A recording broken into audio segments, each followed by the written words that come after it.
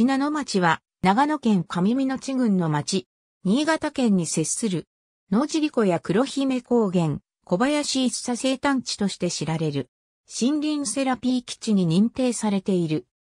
気温が低く快適な夏という中央高地気候と、日照時間がやや短くなり、降雪が多い冬という日本海側気候の特徴を合わせ持つ。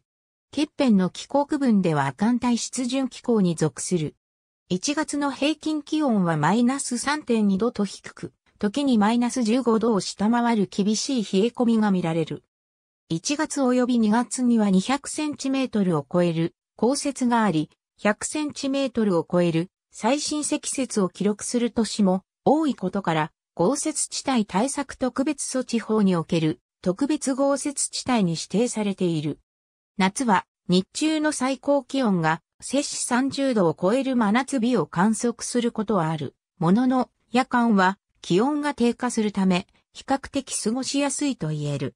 信濃村、古館村、信濃尻村の各村民の世論を基礎として三家村合併協議会で選定した。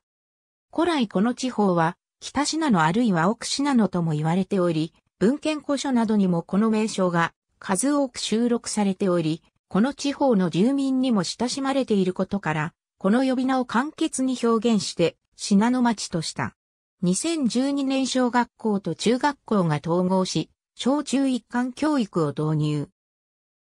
鉄道は、信濃鉄道北信濃線が町内を通過しており、黒姫駅、古関駅が設置されている。また道路は上信越自動車道が通過し、信濃町インターチェンジが設置され、国道18号と接続している。黒姫駅品の町インターチェンジ道の駅品の、黒姫高原スノーパーク、黒姫童話館、小林一佐旧宅。ありがとうございます。